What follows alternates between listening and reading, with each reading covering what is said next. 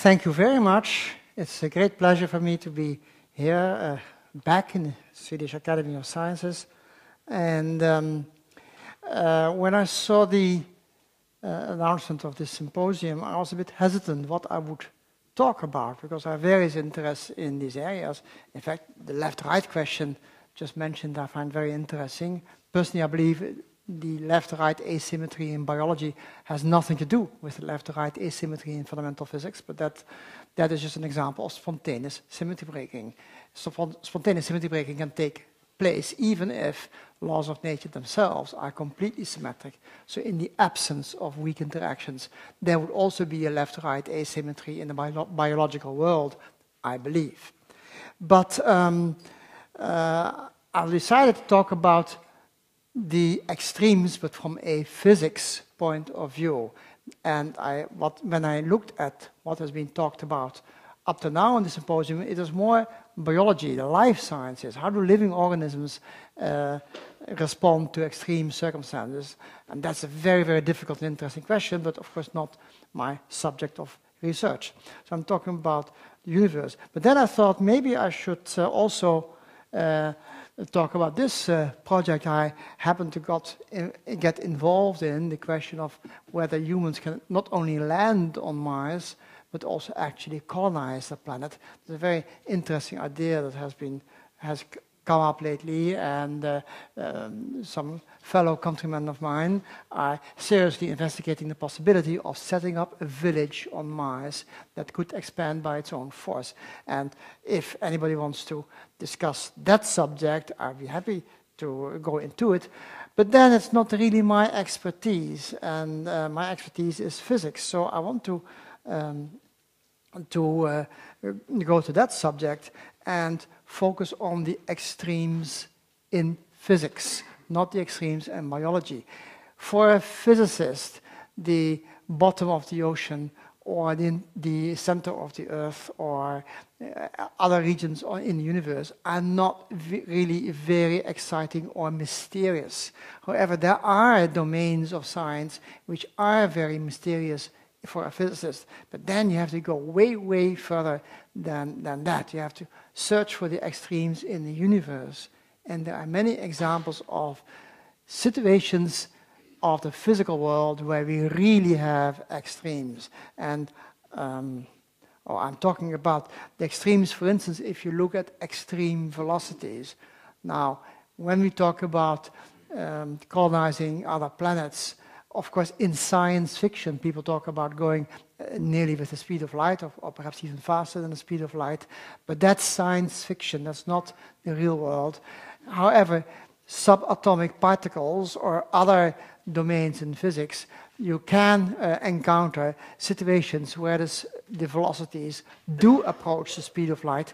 And that I find a very important example of an extreme situation in physics. Because all our familiar knowledge changes when you go to such high velocities. It has been one of the first achievements of Albert Einstein to figure out exactly what happens when um, when you would be an observer who would be going with anything close to the speed of light, and how would you observe our universe? It would look very, very different from anything that we are familiar with. But not only that, you can also try to investigate the extremely tiny objects. And now, when I talk about extremely tiny, it is not as tiny as bacteria or viruses, but much, much, much smaller than that. We are talking about the, not only the atoms, the atomic nuclei, and then what's inside the atomic nuclei. If you, if you magnify that even further, and you go factors of a thousand smaller than the size of a nucleus, then what happens? Even, and, and even then, you can go much, much smaller than that and ask all sorts of questions about the physical world. You can go to extremely big or extremely heavy, and I'll go through these extremes one by one to tell you what actually is going to happen, and end with extremely complex, because that, of course, is also a very interesting subject. Let me first go to extreme fast, extremely fast. And that was, of course, the major discovery by Albert Einstein, exactly what happens when you move extremely fast. And what he discovered was that there's a, a very fundamental aspect of the geometry of space and space and time. Now, when we talk about geometry, we um, usually think of, well, a very simple rendition of the phenomena that occur in space and time. So we introduce a set of coordinates. Here you see the x coordinate and the y coordinate.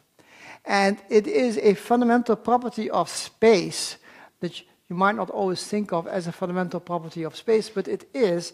The fundamental property of space is that you can rotate these things. You can rotate the coordinates and, um, and look at it from a different angle.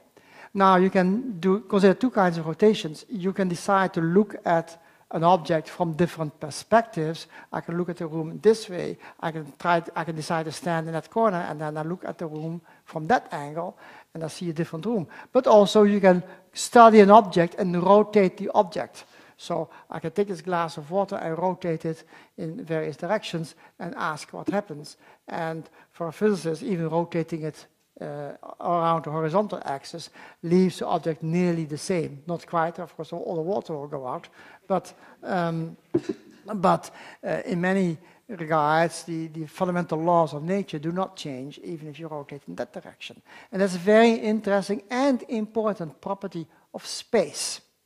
But now, when you, you look as, at physical phenomena from the point of view of a physicist, you realize there's not only space, but there's space and time.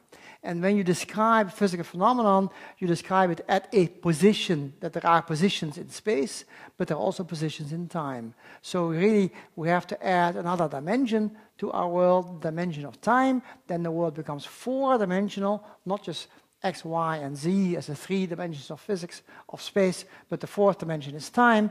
And then you get a similar picture, but now you have to look at, at, at the scene from a space-time point of view. That is, uh, this could be, for instance, the um, plot of a train schedule. The trains are at some place in space and some place in time, and you can make a schedule of the train, and then you can uh, consider trains moving to the right, given by the red line to the right, or a train moving to the left, and or a train standing still. A train standing still here is a vertical line because the space position doesn't change, but time does change. So objects that we normally think of as particles or, or, or finitely localized objects are lines when you consider them in space-time. But the fundamental thing that Einstein noted, that actually some of this was already noted before by a Dutch physicist, Hendrik Lorentz, who noted that the laws of nature also have an invariance here. You can rotate this plot in space-time as well. But when you rotate this picture, these coordinates in space and time, you immediately might notice there's a problem. That is if you consider the speed of light. The speed of light, uh, all light rays go very, very fast. But suppose I use coordinates such that light rays go at 45 degrees. That means that in time I have to Consider, for instance, microseconds. In space, these little blocks of the coordinates are each 300 meters apart. In a microsecond, light travels 300 meters. So uh, in, in, in, this picture, when time goes one unit uh, uh, uh further on, so that goes uh, to the top here, then a, a, a particle of light would also go one unit to the right or one unit to the left. In fact, you can also go forward and backward, so we actually have a, a three-dimensional space at one time. I'll leave out the third dimensions just for simplicity for a moment. And then you see these two red lines indicate particles of light. And now uh, Einstein had some difficulty with, with, rotating this because then light might go with a different speed. If you rotate this whole picture, then those red lines get a different tilt, and the speed of light would become different. And now the fundamental discovery made by Einstein essentially was that you can rotate this, this uh, coordinate frame also in such a way that the speed of light remains the same. And you would say, how can that be? That sounds uh, fundamentally impossible, but actually it's not impossible at all. I'm going to try to see if I can show what happens. Um, no. Um, hmm. Yes, here it is. This is what happens. This is how you can rotate this coordinate frame. And you see with these rotations, those red lines stay, uh, stay the same, at the same position, these coordinates, but the coordinates change. And this is just as much a rotation as what I showed previously. You might complain that it gets deformed. Yeah, but what's the problem? And actually, the discovery already it was Lorentz discovery that the laws of nature, laws of electricity and magnetism remain the same this way. But Einstein said all laws of physics remain the same if you rotate your coordinate frame by this manipulation. It's very simple. Mathematically, it's very simple. Uh, but, but, it's very counterintuitive. You wouldn't have expected this when you th thought of space and time as just another, another space. But this is the discovery. And this is already, this summarizes all of special relativity. This was the discovery. And the discovery has marvelous consequences. Uh, oh, by the way, when I go back to the previous picture, then uh, you also see that this vertical line, the, red, the, black vertical line, does move to the right or to the left, so that um, so, so that now, when it is tilted, you see that anything which originally moved slower than light does move now. So because the black line is tilted, it means the object now has a velocity to the left. And uh, when it's pointing the other way, it has a velocity to the right. So you can see how an object can be given a velocity by this transformation, whereas light doesn't change. And in fact, the, the black lines can never get through those red lines, so you can never go faster than the speed of light. And the horizontal black line also had some strange effect. The horizontal black line indicates all points you have the same time. Well, when you make this transformation, they no longer have the same time, and that means that the notion of simultaneity in time gets modified by this transformation. So physically speaking, very strange things happen here. Mathematically, it's very, very simple. So that's, that was the big discovery in 1905 that was written down by Einstein, which shocked the world. It shocked the world so much that when people uh, tried to apply this, Einstein first made a little observation. He said, well, if I, reply, if I apply this to dynamical particles, particles which have forces on them, and I demand those forces also remain invariant under these transformations, then I find that mass and energy are related. The energy E has a mass m if you divide it by the square of the velocity of light. Uh, c squared. It's that simple. That was his discovery. But the discovery becomes even more profound in physics, when you turn this equation around, you say, actually, that means that I can put the c squared to the other side. Energy is mass times c squared. Now you have c squared in the numerator, so a very little bit of amount of mass represents an enormous amount of energy because the speed of light is so tremendously fast.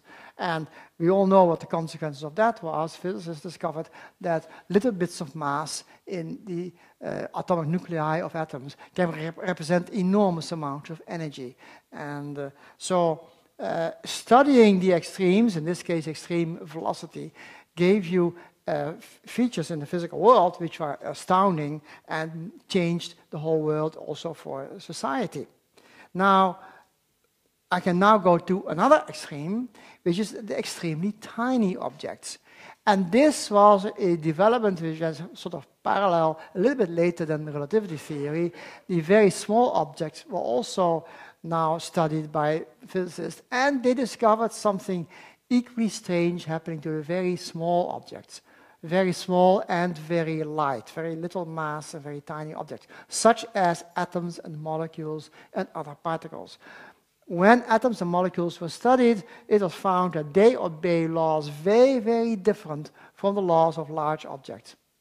And the discovery was what is now called quantum mechanics. When you uh, describe um, the motion of a, uh, a, light particle, it looks actually like behaving, behaving like it is a wave. Now, my computer is also a bit sturdy here. It somehow doesn't want to show. Yes, this is what I wanted to show. That uh, a, a, very tiny particle looks more like a wave than a particle. It would go much too far for me to explain if you don't, if you've never seen quantum mechanics. This is totally mysterious. You won't understand a thing of what I'm saying. If you have learned about quantum mechanics, you understand everything that I'm trying to convey here. This is a particle with a certain mass and a certain velocity. I can consider the same particle and have it move much faster. And that is... Um, hmm. My computer does not quite do what I expect it to do. And that happens more often. So I wanted to show that the other line, that my computer is hanging at the moment. Do I see?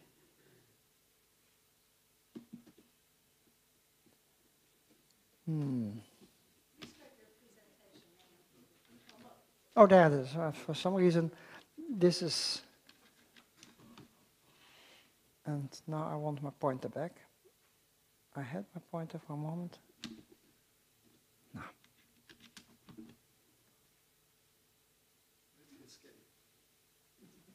If I escape, I escape from everything. I think you were right. Oh, the pointer is, this is the fast particle. I got it now. So, um, so we see a fast particle differs from slow particles in two ways. The waves are much tinier, and they go faster, of course, so this whole thing describes a fast-moving particle. You also see that the waves themselves do not quite have the same speed as the particle. They go uh, with half the speed, and that's a typical feature of, uh, or, or, the, or no, I think they go, they, go, they go faster than the particle itself. And that's a typical feature of quantum mechanics, that the, the, the waves themselves have a different velocity uh, than the particles. That's all in Schrödinger's equation of quantum mechanics. So this was the big and beautiful discovery in those days, and it affects everything at a small scale. For instance, if you consider a particle and uh, a, an atom, the uh, electrons around the atom also move in waves. But those waves are more complicated because they move around the atom in a wave. Now, the simplest wave you can consider is a single blob of electrons around a particle. This would be the simplest atom of all, the hydrogen atom, where the electron just forms a single wave, a single um, um, blob of wave, which shows very little structure. The hydrogen atom itself is basically spherically symmetric. But if you take more electrons, they are going to to make more complicated wave patterns around the atom. And this is what you get with the larger atoms, that the electrons show waves in, in such a shape around the, uh, the, the, the nucleus. And it is those funny wave patterns that electrons generate when they go around the atom that to which uh, molecules owe their shape. So consider uh, an atom bound to other atoms. Now, where do the other atoms want to sit? Well, the electrons are dictating where the other atoms want to sit. So if you have a carbon atom, it likes to make bounds on other, to other atoms, so the other, other atoms sit in certain relative positions. Those relative positions are dictated by the electrons, which like to move around in waves. And um, actually, you can uh, uh, look at, at other molecules, such as the water molecule. And now water is oxygen with only two hydrogens, but those hydrogens form an angle, and the angle is roughly 105 degrees. That's very close to the angle if you, if you take a tetrahedron that you consider with the, the, oxygen at its center, then the, the angles between the two points of the tetrahedron is actually 109 degrees. So that's very close to where, where, the hydrogen atoms actually want to sit. So there are certain disturbing effects making slightly different. But uh, on the average, then the two hydrogen atoms around a oxygen in water have that funny angle. That's because the electrons like to form these wave patterns which I showed before. And now you see water is a very asymmetric and, and strange molecule. And um, because of that, water has very special and uh, unique properties. It's a very interesting substance from a physical point of view. And uh, in fact, all of life uh, owns, uh, owes its structure because of its features because of these complex properties of molecules. And molecules tend to form very delicate geometrical shapes. And uh, you know, of course, that, that, that um, uh, proteins and DNA molecules and all these things, they're very delicate shapes in the three-dimensional world. And that's uh, the, the phenomenon that generates life. That's why living substances themselves have very uh, general shapes because the atoms and the molecules are such absolutely marvelous building blocks. And that is, of course, the subject of chemistry. So we understand the laws of chemistry now once you've understood the extremely tiny objects. Not tiny enough because we like to go even further. And now today in particle physics, we study the nuclei of the atoms, which are tens of thousands times smaller uh, than, the than the atom itself. And now we can magnify even those nuclei by another factor of a thousand or so in the new particle accelerators to investigate what happens inside. And then other things happen. I'll explain to you in a minute why that is an interesting subject all by itself. First, let me mention some other extremes. For instance, extremely cold. Now, temperature is something you can vary in the physical world, but when you make temperatures extremely low, then particles in a substance move extremely slowly. That's where the laws of quantum mechanics become extremely important. So they become so important that things start to behave in a totally unexpected way, unfamiliar way at very low temperatures.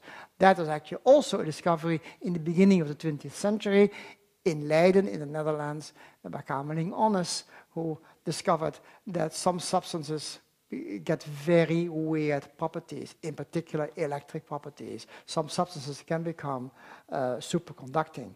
And superconducting means that there's absolutely vanishing resistance against electric currents and all normal circumstances, whatever, whenever you send an electric current through a substance, it has a resistance. But all resistance disappears below a very definite temperature for many metals and other substances. Um, all substances become solid. Uh, when you go to low enough temperature, everything freezes, except for helium. And the, the beautiful discovery that Kamerlingh Onnes could have made but didn't, was that also the liquid properties of helium become very special. Uh, when helium flows at very low temperatures, it loses all resistance against the flow. So it, uh, you send helium through a pipe, it doesn't cost any pressure to send liquid helium through a pipe. So that's something similar to superconductivity. But he missed that. Actually, he could have seen it because he actually saw it in his experiment, but didn't uh, actually interpret it that way, which which was just uh, amazing. But uh, later people realized from his notes that actually he saw superfluid helium as well. So um, also this is all due to quantum mechanics. So now you can understand perhaps a little bit why physicists are so interested in extreme conditions. Extremely low temperatures give you very many new physical features. In fact, you can go on and go to even much, much lower temperatures than this, and you get very, very weird features. And this is, um, uh, you can then look at clouds of very, very cold atoms, and they then obey the laws of quantum mechanics, and those laws, I later explain why, are the same laws that control the laws of subatomic particles. And this is where the extremes sometimes meet. We will uh, meet, the extremely tiny will meet the extremely cold objects. So sometimes extremes in the physical world merge. And uh, actually this was one of the more recent Nobel Prizes uh, by these three gentlemen who made marvelous new discoveries in the world of the very cold atoms. You can make very, you can form a gas out of cold atoms. And uh, a gas which doesn't freeze because you polarize all the atoms in, in a magnetic field. And then you can stop the gas from freezing, and then you get very, very interesting features that you can study. And um, you can try to, to understand the laws of nature of that. So you see, I'm a theoretical physicist, so I'm interested under those circumstances where the laws of nature are not what you think they are. There's something else. You need new mathematics to address those physical circumstances, and you discover new domains of the physical world. Well, I'm not finished yet with all the extremes. There are many more things that can become extreme in this world. And the fourth extreme I briefly want to mention is the extremely heavy objects. Think now of large objects, such as the sun. The sun is, is uh, nearly a million times as heavy as planet Earth, so, uh, no, hundreds of thousands times as heavy as the planet Earth. So um, at some point, when th things become extremely heavy, again, you need to modify the laws of nature that you thought were very familiar.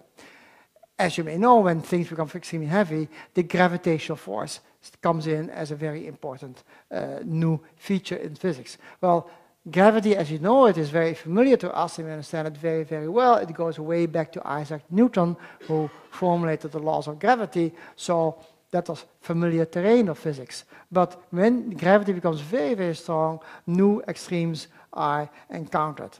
And to give you an example, um, well, what you want to have extremes not only uh, um, matter, uh, um, heavy matter, but you want to compress it. So you want to have the matter density to be very, very high. Now the sun is over a million kilometers in diameter, and that's much, much bigger than planet Earth. So if you multiply that by a factor of 1,000 approximately, then you get planet Earth. And if you multiply that, because every step here is a factor 20, roughly speaking, and so uh, twice that you get, you get close to the planet Earth. And uh, when you go by another factor of a thousand, you reach objects which can be very much be much smaller than the Earth, but you can try to compress as much mass in this very tiny object as the entire sun. Now that's really compressing things in a big way. In the astronomical world, these kind of compressions do happen. An, a star which originally starts out to be somewhat heavier than the sun, can actually be compressed by its own gravitational field so much that it becomes extremely, extremely tiny. And uh, when I say extremely tiny, in this case, it becomes uh, a few tens of kilometers. Well, tens of kilometers is very, very tiny if you want to put the entire sun into such a small volume. Then new special things happen. And the reason for that is that now the gravitational forces surrounding this object give surrounding uh, gases or particles velocities that reach the velocity of light. So here, basically what happens is that the high velocity of light is going to play a role, and you have to rephrase uh, Newton's laws of gravity in a very fundamental way. This is where, again, Einstein found the solution. He found that, um, uh, that under such circumstances, laws of nature change completely. And he found the correct formalism there, but you have to think very hard, because combining special relativity with um, with the gravitational force theory of Newton is a very complicated business. Let me first explain this very tiny star where velocities reach the velocities of light. Uh, at the same time, matter gets so much compressed that it takes on a new form. The object I was talking about is a neutron star. You may have, must have heard about them. Uh, astronomers have uh, identified many objects in in the universe, which are very compact stars, and some of them are uh, called neutron stars. Well, um, the form of matter there is not yet fully understood. One reason for that is that the neutron stars observed are very, very far away, and the matter uh, that we are really interested in is hidden in its core. That's where pressures are so high that very strange things happen. Well, we can theorize about what it is that might happen. Um, Everything is extreme in the inside of a neutron star. For instance, magnetic fields are pretty extreme. Uh, they are uh, a million times a million uh, times as strong as the Earth magnetic field. Actually, physicists in the laboratory manage already to make stronger magnetic fields than that. But when I say stronger magnetic fields than that, it's only when you look at the LHC, the Large Hadron Collider, when the nuclei of lead hit each other head on in, a, in, in the uh, Large Hadron Collider, then you get very extreme conditions there. But if they, they hit each other sideways, they just pass each other or go partly through each other and then hit each other sideways, you have two electric currents in opposite directions. That generates very strong magnetic fields, and those fields are even stronger than that. So, so, so under some very special circumstances, physicists can uh, generate in a very, very tiny region of, uh, of, of a particle, a magnetic field even much stronger than that. But everything else is very extreme, such as matter itself. Um, oh, this is not yet. Um, what I want to say is that um, in the inside of uh, such a star, in principle, we can put all the particles in there, uh, protons and electrons, which are the particles that constitute ordinary matter. But the protons are actually expelled out, and the reason is that there cannot be so many electrons in inside. The electrons are too light and too mobile, so they can't be compressed to such a small volume, not in, in the same rate as the protons and the neutrons can. So protons and neutrons tend to be compressed very hard, but electrons have to stay out, or they're much more difficult to compress. And, that, and since the electrons have to stay out, the protons cannot stay in there either, because they are pulled out by the electric field. So what, what stays behind is only neutrons, predominantly. so the inside of such a star is predominantly neutrons and no longer protons. Protons either decay into neutrons and then the remainder is being expelled out, or, um, or, or, or, just the protons are selected, the neutrons are selected inside, the protons are sent to the, to the, to the border of the object. And uh, uh, so this is why the object is called a neutron star. These very strong magnetic fields uh, give phenomena outside the neutron star that astronomers can actually observe. Uh, it is said that uh, if there would be a neutron star uh, as close to us, uh, us, as, say, the distance to the moon, then your watch would stop going because of this, those magnetic field. But um, uh, actually, you would also be dead because of the very strong radiation from a neutron star that close by. Um, so that's just little detail about the neutron stars. Now, I mentioned a certain number of extremes, but I'm not finished yet in theoretical physics. We can consider various different extreme circumstances, but the question one can ask is, what happens if some of these extremes are combined? And actually, I already touched upon, without really emphasizing that, already touched upon that feature if you combine different extremes. Let me consider those, the various possibilities that make something interesting. So what happens when you combine extremely fast motion with extremely tiny objects? In that case, you have to apply the laws of quantum mechanics, but now while keeping Einstein's very special theory of relativity uh, unchanged. So you want to consider those funny uh, changes in uh, the space-time geometry in the presence of very, very tiny particles, which are actually wave-like rather than particle-like. How do you do that? This was a major problem in the major part of the 20th century and only was, was solved in a very dramatic way in the 1970s. Uh, so it took about 70 years for physicists to fully understand what happens if you combine extremely tiny with extremely fast. And what you get then is a domain of the subatomic particles. In the atomic nuclei, there's so much mass that particles tend to, be, to, to generate energy due to Einstein's equation that mass and energy are, are related, that particles tend to get to, to obtain velocities near the nucleus, which come close to the velocity of light. And actually, processes take place where particles typically attain the velocity of light. So now you have to combine special relativity with quantum mechanics. And um, that's called, well, well, quantum relativity, if you will, and uh, it has been a very complicated subject. Many physicists have uh, made their um, contributions here. Uh, one of my favorites is Paul Dirac, who gave a very beautiful formulation of the physics that you get when you, when, when you con consider these particular uh, combination. And um, one of the discoveries was that if you consider particles which collide, particles can actually exchange other particles. But they can do that in two ways. These other particles move so fast that you can describe this as if a particle moves from the right to the left. But you can also describe it as if, as if an antiparticle moves from the left to the right.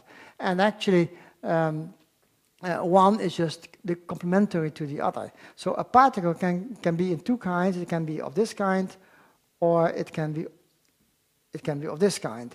And one is the antiparticle of the other. And you have to combine this. In fact, uh, this green line can be, it can look as if it goes faster than light. So now one observer will say a particle goes from here to there, but another observer says, no, an antiparticle goes from there to here.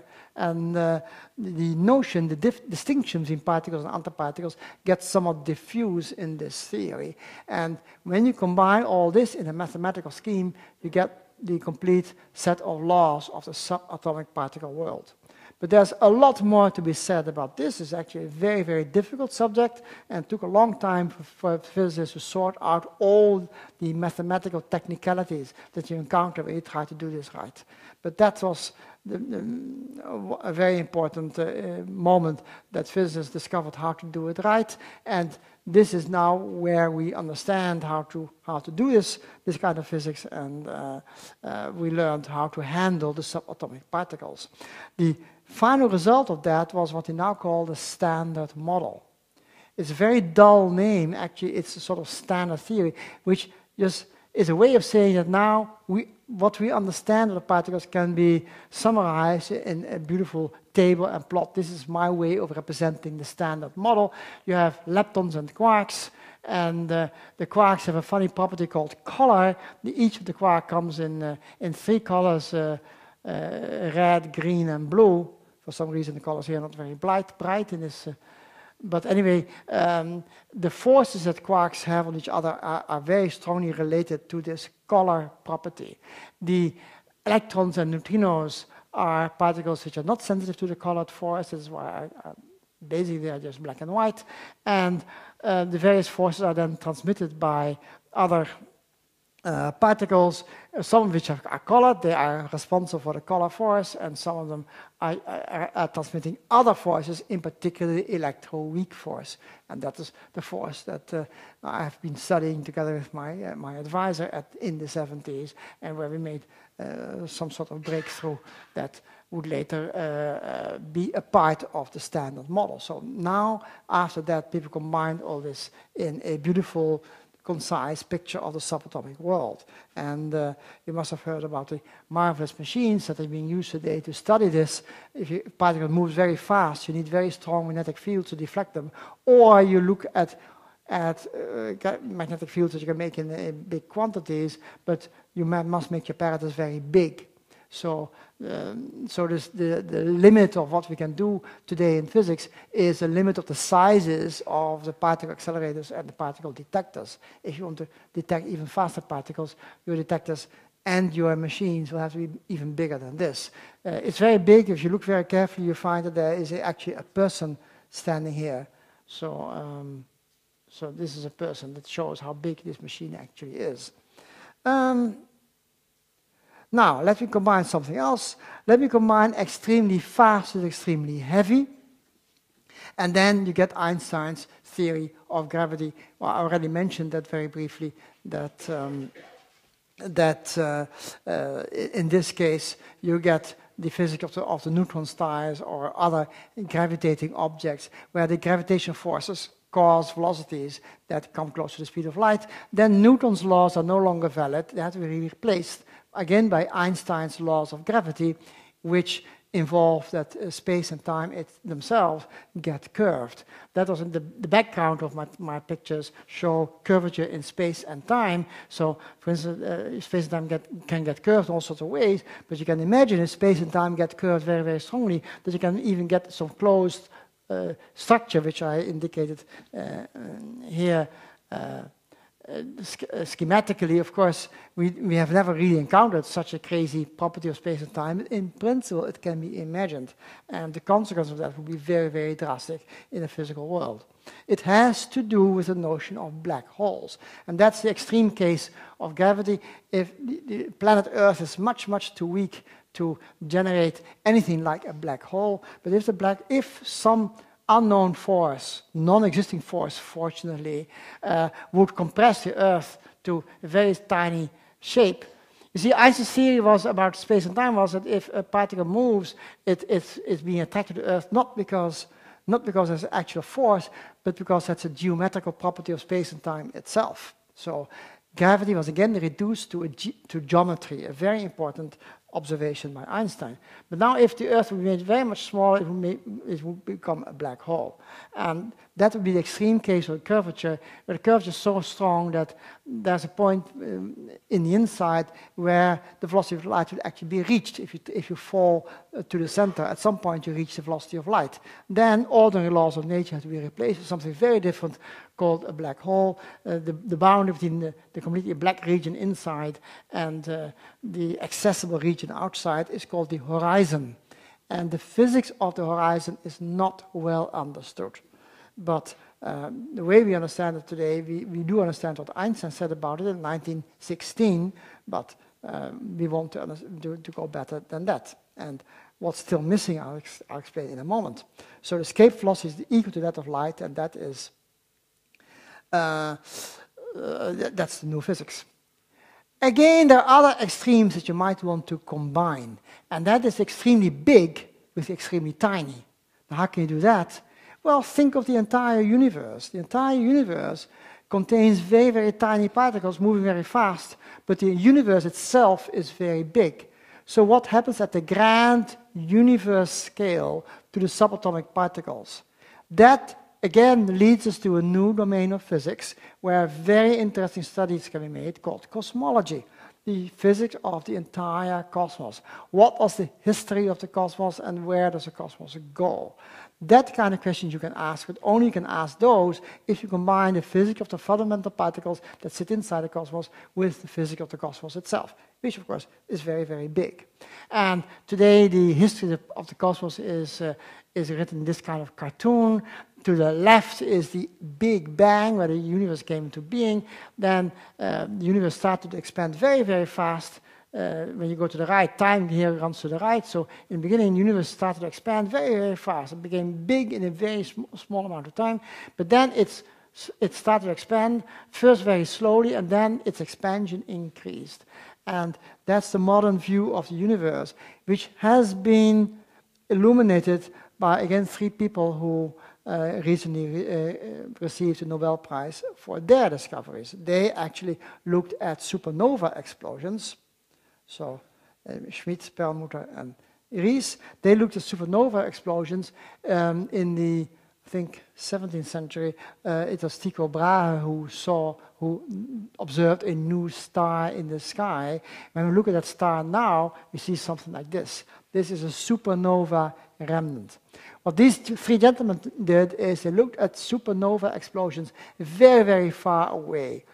Astrophysicists have figured out what a supernova really is, what actually is happening there. That certain stars, uh, pair, double stars, a pair of stars coalesce and they, they generate a, a gigantic explosion, leaving behind usually a black hole. But the physics of that is so well understood that now you can study these supernova explosions from a great distance. And then you can actually plot two things. You can plot the uh, blue the redshift of the supernova explosion and the luminosity of the supernova uh, explosion. You get two properties, and you can then make a plot of these properties. And this way, construct find out what the shape of the universe is. And finding out the shape of the universe, you discover new properties of the universe never really understood before. Uh, again, this gave rise to, uh, this is related to a different Nobel Prize where George Smoot and John Mather had, um, uh, had discovered uh, how to detect the radiation in the, in, uh, in the background of, of our universe. There's some sort of universal, uh, ubiquitous radiation everywhere in the universe. There's uh, there's very, very soft radiation that can be actually now detected and detected in so much detail that you now get this picture of the universe where the red and yellow are slightly enhancements of the radiation and the blue and black are slight reductions of the radiation. And now very recently a planet was, a, a, a satellite actually gave its first data to, to measure this same thing in much more accuracy. You see the previous picture was this. Now it was measured more accurately. And this way you can calculate backwards in time how the universe got started. The only way to understand that is to combine the physics of elementary particles with the physics of expanding universes. So uh, that's very exciting from a theoretical point of view. Now, I mentioned extremely fast, extremely heavy, and extremely small, and I explained that uh, these, all three, these three extremes they require new branches of physics, but again, you get new observations. If you combine two of them, if you combine these two, you get the elementary particles. If you combine that, you get general relativity. But why should I stop here? What you really want to do is combine the whole lot of it in one concise theory. That's an amazing new observation you can then make, but it is extremely difficult. And here, demands are made on our intellect it turns out humanity as a whole, in spite of the fact there are billions of humans, all together are still too stupid to understand how to combine these three extremes. There are some things we know. For instance, there are three constants of nature. h bar, or h over 2 pi, is a constant that controls very tiny things. g, Newton's constant, is a constant that controls very heavy things. Speed of light c is a constant that describes, that controls very fast things. If you combine all three in certain combinations, you get the so-called Planck units. And the Planck units, oh, the Planck units are a unit of length, a unit of mass, and a unit of time, which all are fixed this way. In that domain of physics, you can only understand things if you combine those three extremes. And this turns out to be too difficult for us. We are just too stupid. And we really all sense it this way, that this is just a, um, a challenge that nature left for us. We should try to solve this problem, how to combine these laws, and we have not succeeded. Of course, we made tremendous progress during the last 30 or 40 years, for instance, one major contender in solving the problems is called superstring theory. And superstring theory is a theory where you have a line-like object which obeys certain dynamical equations. The line-like object has to be subject to the equations of quantum mechanics and of relativity theory. We can do all that. And the claim is it automatically generates the gravitational force if you do it right. This is the claim, and it seems to be like that, but we still don't quite understand how to do it right. So this is what the, the status of today's science is, but why am I not again stuck? No, I don't know what's happening. This computer doesn't like the animations that I made. Oh. Right, here we are. So quantum gravity could answer many questions. How to combine, uh, I'm, I'm, my time is running out, I've just, if I may, a few more minutes. Um, how to uh, combine the different forces into one. This theory should automatically generate such a thing as a standard model uh, and explain why the standard model has a particular shape. Um, because I mentioned theoretical physics, but of, course I should never forget to mention the numerous number of experiments that actually uh, were needed to get these answers. But if you, if you understand that theory, you can understand all, uh, for instance, wide varieties of nature's concepts. The universe is extremely complicated. So somehow this very complicated universe came out of a combination of some very basic, simple extremes. So why is that so difficult? That's a, a big question. Why is the universe so big? How can the universe have gotten started? How does universe evolve? How unique is our universe? Can it only evolve in one way or can it evolve in many ways? All these questions are unanswered. And one of the deepest questions, I think, is why is universe so complex? It's obviously extremely complex. My question is, why? How come that you might set up very simple laws and get as an outcome a universe that behaves in an extremely complicated way? We don't really know that. In fact, the substance of extreme complexity itself is very interesting and, uh, of course, raises many, many questions that theorists like to, like to answer. And uh, I have no time to, of course, to discuss all these questions, but you, I just mentioned a number of of phenomena and features of this physical world where complexity plays a role. I, let me just briefly mention uh, one other hobby of mine besides landing on Mars and doing theoretical physics is to generate complex molecules. And one hobby think I like to, to think and dream about is how to make fractal molecules. Fractal molecules are molecules that repeat themselves at tiny scales to make larger, larger molecules. So what you see here is a scheme. You take one molecule, it's called M1, and then combine them in, in a, uh, say, I use complicated chemistry to combine them in such a shape. But once you have one shape on the letter B, I can combine two of the objects of the letter B and make the letter C. And then I can continue the sequence forever and make a gigantic object, which is, which is basically a, a fractal made out of molecules. And the fractal would eventually look like something like this. And I was thinking this way, you could make marvelous computer memories if you can, of course, control this process in a way that, that hasn't yet been achieved in this world, but maybe this will be achieved one day to control the laws of chemistry so well that you can actually make such fractals, but just continue combining small molecules in uh, bits or pieces into bigger ones, and which eventually make such a fractal. And it could have tremendous applications if you can make these fractals in such a way that you can conduct signals along those lines there so that the signals can transmit uh, well, computer information some way or other. That's the uh, exciting thing that, that one might be able to achieve in distant future. This is, of course, very complex. Uh, a, a, very simple object might generate eventually something as complex as that. So that's all the various different things that you can um, uh, that you can think about in the realm of complexity. So this uh, sort of ends my talk. You see the, uh, uh, all these various extremes can be combined. These extremes themselves are very interesting. Combining them is even more interesting. And eventually then, uh, if once we achieve to combine everything, you might get something that you might call the theory of everything. We haven't reached anything close to that. people talk and write about the theory of everything. Don't believe too much of what they say. We're still miles and miles away from that. But we're zo closely zooming in, and maybe I've shown in this talk what, what alley one could try to choose and try to, try to figure out how the theory of everything work, works. As physicists, we are interested in going to the extremes. So this is just a picture of the universe to end my talk with. And uh, um, I think I should uh, keep it at this. Uh, so um, uh, I hope I've ex explained what extremes you can have in my field of science. Thank you very much.